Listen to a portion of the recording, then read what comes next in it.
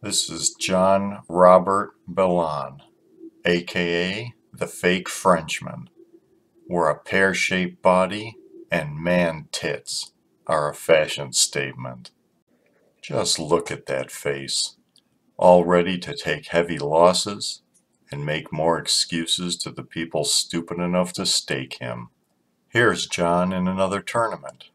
A five big blind stack is how he rolls. Now let's watch some of his tournament and cash game performances that better define John Robert. Rarely see this bluff, by the way. There's a reason why you took second in the one drop with all those superstars. It's not because you're getting hands. Mr. Klein. See, my theory is the reason why people like you are so successful is because you're really good decision makers and you really good instincts. And you're right that I was full of and now you're punishing me for dancing around there with nothing. And now I have no choice but to fold. Couldn't have said it better myself. From 100% to 0%. Get an education here. the Queen Three ball. What a great play by Bill Klein, AJ. That's what you wanted. Well, I knew I knew I, Actually, knew I, I had don't want a queen. You wanted the worst hand. Oh yeah, I do. I, I definitely wanted the worst hand. You got what you wanted. Okay. Bellande wanted the worst hand. He's got it. Now Let's comes the hard ten. part, on, sucking out and doubling up. Banghart succumbed to Lay's aggression. Diamonds. Do this. Jean Robert Bellande with all his chips in the middle. The flop. King four trade. Douillet still in good shape to knock Bellande out. You know, Jean Robert is thinking, I am due to put a bad beat on somebody. Turn card. Five of clubs. One more chance for Jean Robert.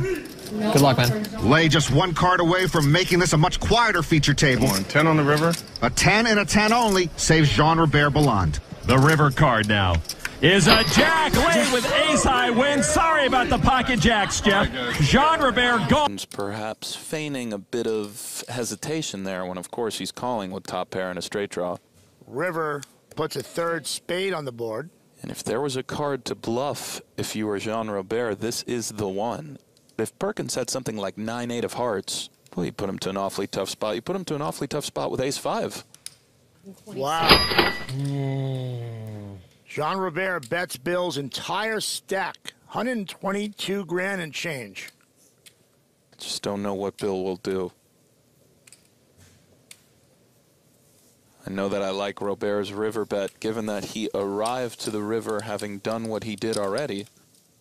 Oh, Robert, you just bowling me, or His three bet pre, his flop and turn bet are all credible that he could have spades.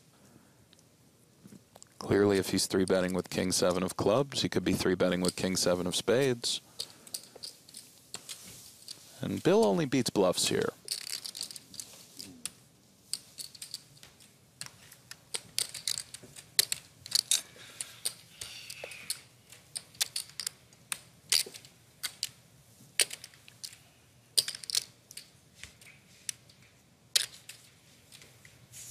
call?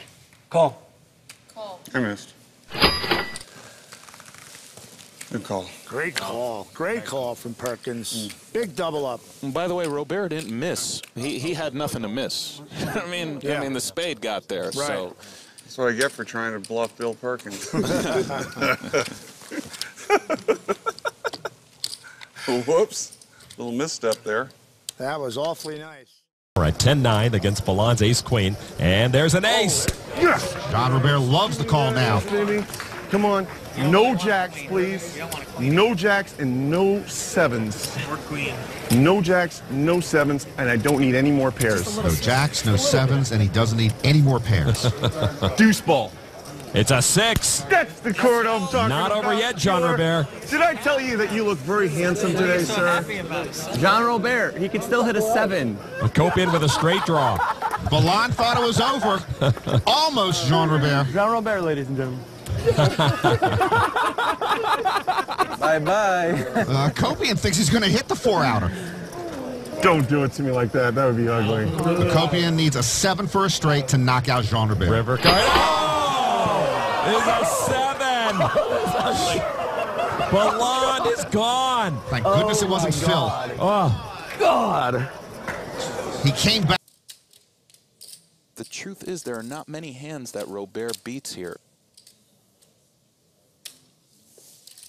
Nice sized pot to end this session.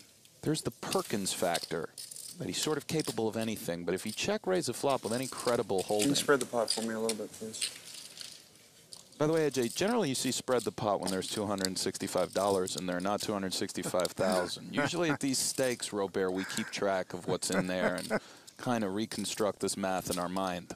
Well, we, but knew, uh, we knew it would get livelier once he sat down again. a little spread the pot. He just sort of knows he's beat. He just Yeah. feels it, and logically he's beat, but it's just, it's annoying. It's He's annoying. got kings. It's an annoying feeling. When the president has you beat, Uh, you know, Robert, I'd advise you make a wise choice. Sorry, guys. Two black kings, and uh, Uh, now, look at that hand again, Robert. Seems like I'm beat. Might be a red king. I love Robert's instincts, and even though logically it seems like he's beat here, Bill check raise a flop. Bill could just Bill could have like Jack nine, eh, eh, eh, Just he can have a lot of hands, a lot of hands that other players could not have. Wish I was good enough to fold this, Bill. Oh, notice he said that to try to get a read, though. AJ Yeah. said that and then glared right at him. absolutely. He is good enough to fold it. Yeah, man, that's it. Lays it down. Very nice. I bluffed that on. I'm just kidding. In case you didn't hear that. He fires 40 grand into the pot. And after Al checks the flop, this this bet really doesn't make that much sense because I think both Brandon and Jean Robert at least think that Al would have bet the flop had he had a flush draw, which he does indeed have. So John Robert's going to be very hard pressed to get away from aces and jacks here. I think he's very confident that he has the best hand right now, as well as I would be. Okay, big shove from Bellande. And presto, we got a pot worth 366 grand. Two times? Ah, I go two. Two times? I'll go two. Whatever you want, Al. Good, I'll go two. I'll go Twice two. is good. I said One twice. Twice. Really a cooler for Jean Robert. JRB has four outs to fill up. Wasn't such a tough call, I guess, Al. No. Half the pot goes to DeCarlos. Oh. Mm, Brandon would have How much? Broadway. That's neither here nor there. A nice pot, Big Al. Yeah, Big Al doubles through Bellande. Bob checks out. Bellande could just shove here, given that he has under 200K, and, and Antonio just put in 44,000. But he he just calls, and that's a great mm-hmm. call by John Robert. Because he must think Antonio is genuinely weak if he thought Antonio's strong. Oh, my God. Whoa. Nice to run good. Antonio outflops the, the Rockets, hitting two pair. Well, how do you beat this guy? He makes incredible reads. And when he doesn't, this happens. Unbelievable. And John Robert played his hand great. I mean, they're going to get all in now, 100%. He's betting 50,000 here. I'm all in. All in. Call. Snap call. Oh. Oh. What happened before the flop? I four bet. I ran into Antonio. What do you think? You want to go twice? Whatever you want, happened John. before the Robert. flop. What in the This world, is- man? I didn't think he had it. This is What in the world? How do you just get blessed with the two? It's been like that for 20 years. Dude, it's unreal. And how about how I've been running forever? Okay, once or twice. I catch you way out of line. I do. I correctly just call you to let you bluff off your chips on the flop because I know you don't have jack. Listen, you But actually, me. you did have You jack. trapped- He's I right. mean, what can I say? He's right. I got trapped for sure. There's Which no is what you that. had, Jack. Now we because I find know ourselves you in a can't new call a predicament. Now, these guys haven't talked And about how they're going to run this pot once or twice. Oh. Once or twice. Are we just doing once or twice? We didn't say.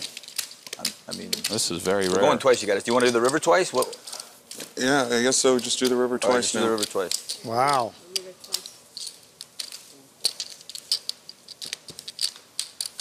Robert. Oh, boy. Thank God we said something. Yeah. I mean, it's unreal. It's always perfection for whenever I do. I should I should have been so tilted. Just let it run at once. You have aces? Who has aces? Well, who has jacks and fives? Kirk returning to see a very interesting hand. You went one, once or twice? Uh, chop it up.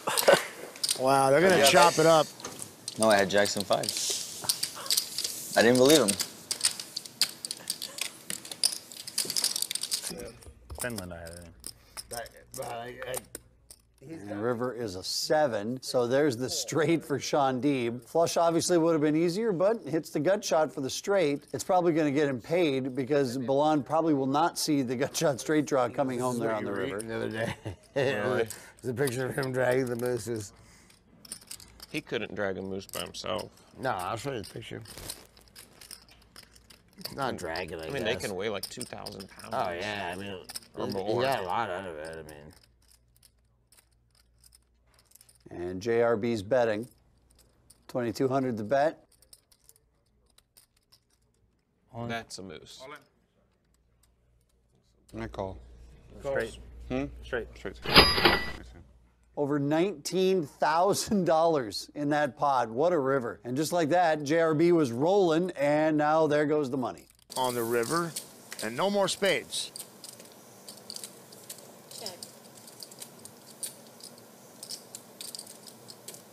Looks like Doyle's thinking about betting here. He's got a green light.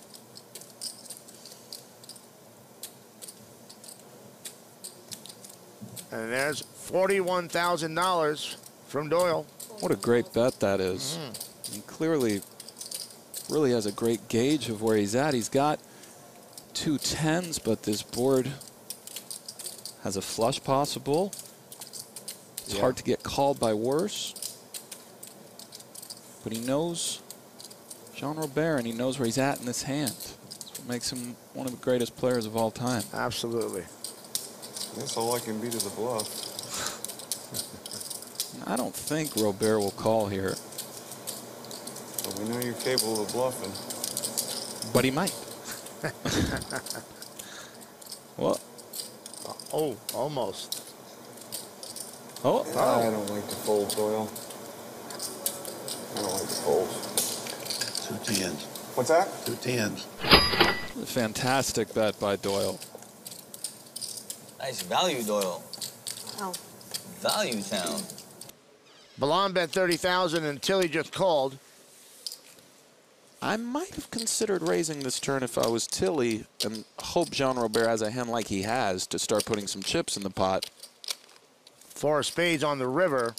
but I don't falter smooth call either. Her plan being to raise the river. And Jean Robert leads 35,000 here. He's trying to get value from a king. Well, he's not giving her enough kings. How about that? He's not trying to get value from King King.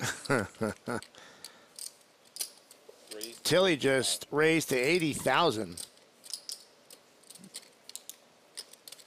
John Robert is sitting there thinking, I have 10-7 offsuit. I called a raise, and now this is happening.